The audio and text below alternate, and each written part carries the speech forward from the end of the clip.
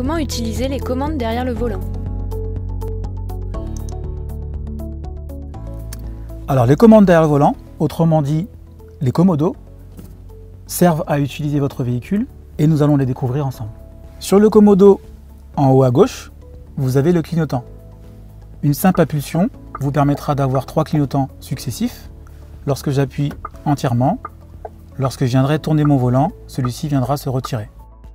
Sur le même commodo, en haut à gauche, vous retrouverez la fonction des phares. En tirant juste une fois vers vous, vous avez les traditionnels appels de phare. Je pousse une fois, sur mon écran principal, j'ai un petit A pour les feux automatiques. Ils viendront s'adapter en fonction du véhicule qui s'adaptera juste devant moi. Je rappuie juste une fois dessus et j'ai mes feux de route classiques. Nous sommes sur le commodo de gauche, juste en dessous, qui est le régulateur de vitesse.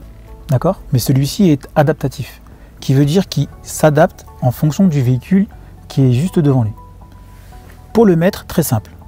Je le tire vers moi et il suffit juste d'appuyer sur le petit bouton 7 qui mettra la vitesse à laquelle je roule. Un petit indicatif sera sur votre écran en bas à gauche.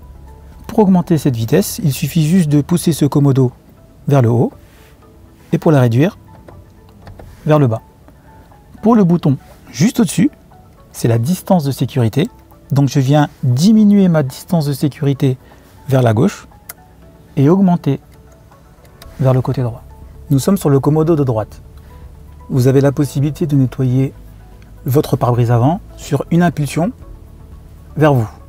Vous viendrez nettoyer vos phares, mais également votre pare-brise. Vers l'arrière, une impulsion encore. Je viens nettoyer ma lunette arrière, mais également, petite astuce, en poussant plus longtemps, vous viendrez nettoyer votre caméra qui se trouve sur l'arrière également.